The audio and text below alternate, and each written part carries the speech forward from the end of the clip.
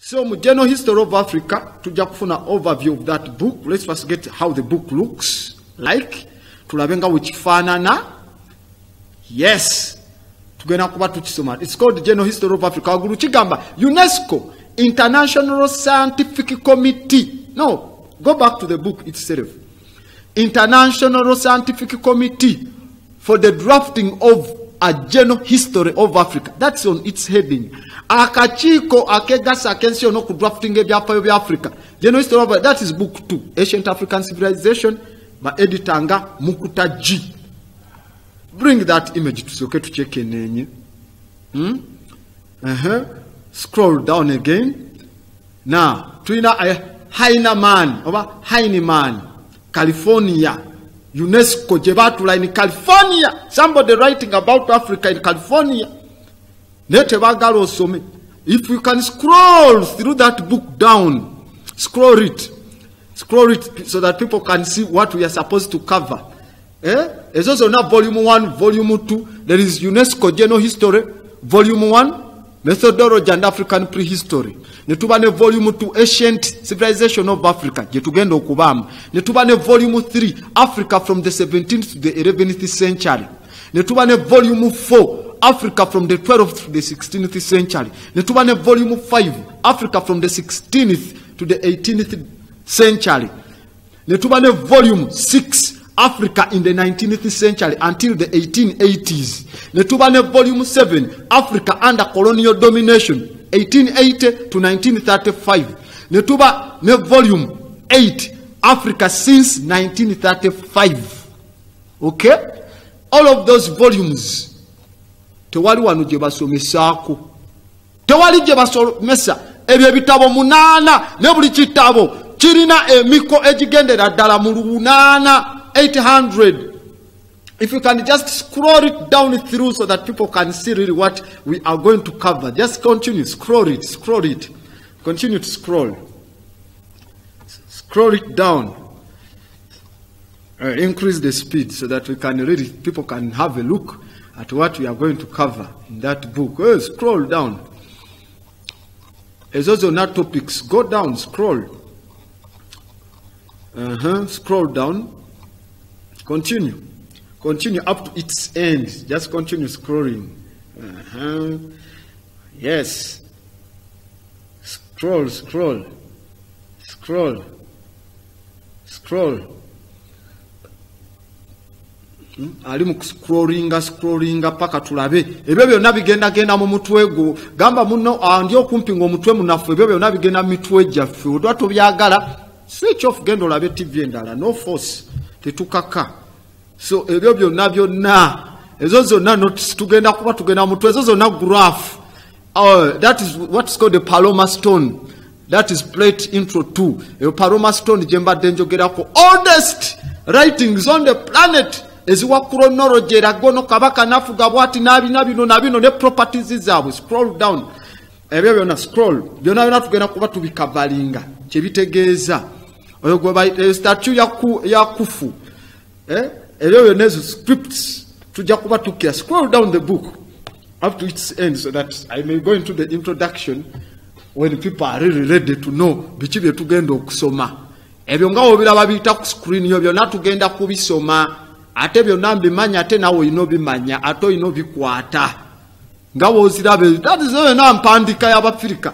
Tolina kitabo kye wali obirabyemu. Now that is ono gwolaba ow'omutwe on that right that is called faro nema. Farao gwe bayita nema. Era y'omu ku basajja abakulu ennyo the great unifier. Oli gwe tulaba figa gye bayita teranata is a negro black man. Eno engulu egyolaba wano uh, bring it hold it there. Now olaba crown eyo engulu eyo gyolaba wansi wano. Eriko nga akamuli akatunudde waggulu neyiringa entebe waggulu. Ekitegeeza yafuganga kingdom bbiri. The southern kingdom and the northern kingdom.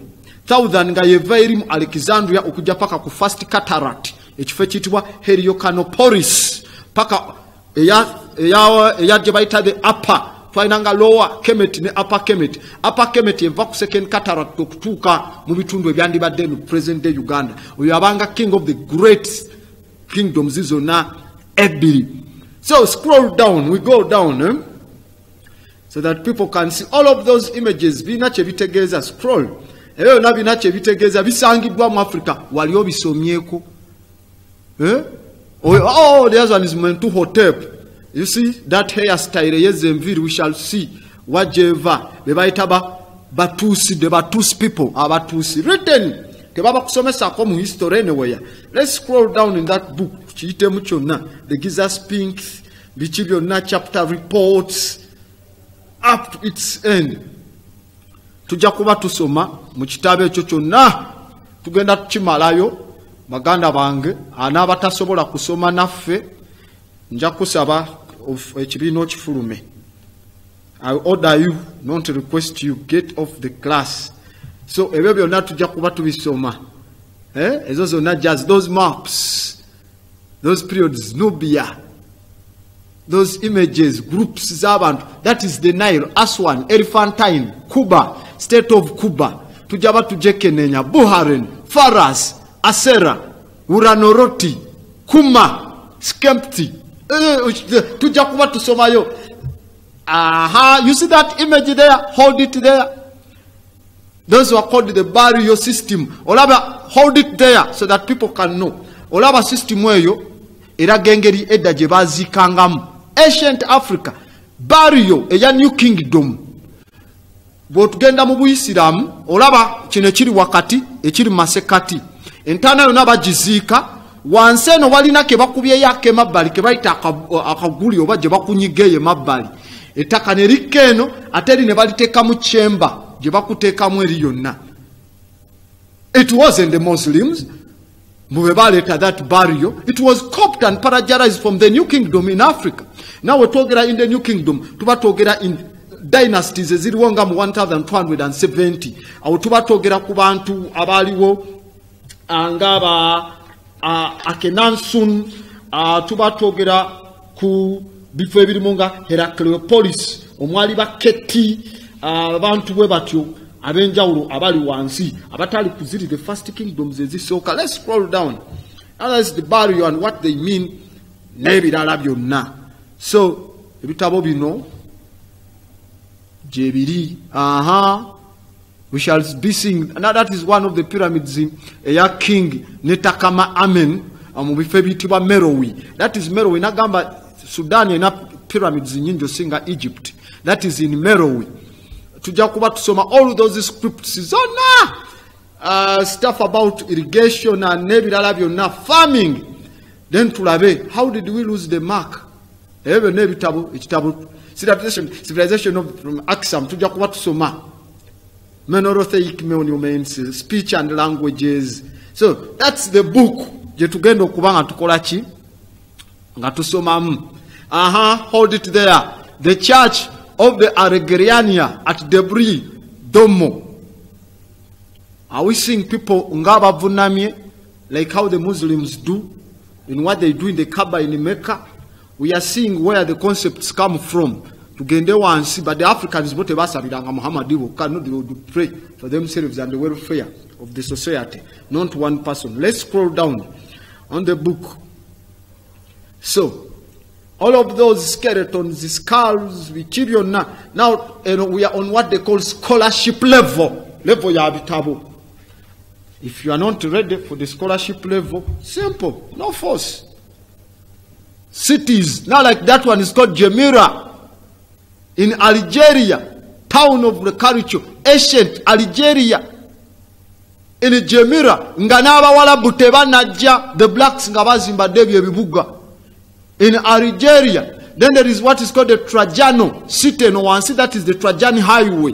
Kwe bakopa gye the Aparian oba the Aprian highway gye tusanga in Rome copped from Algeria.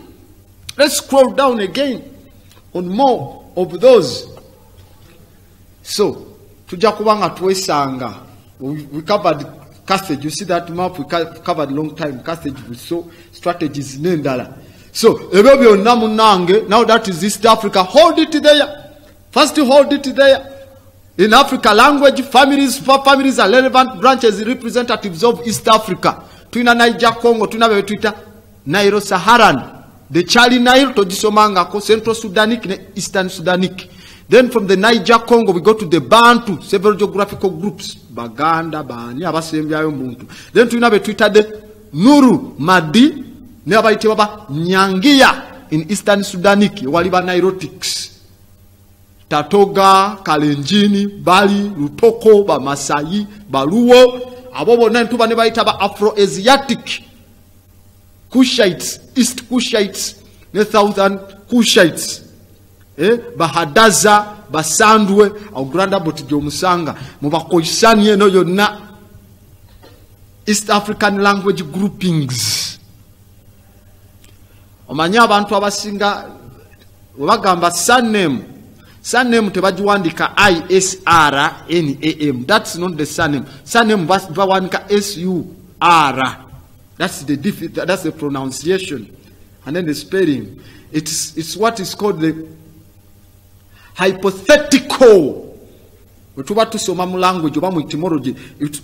A surname is a hypothetical principle that defines your origin.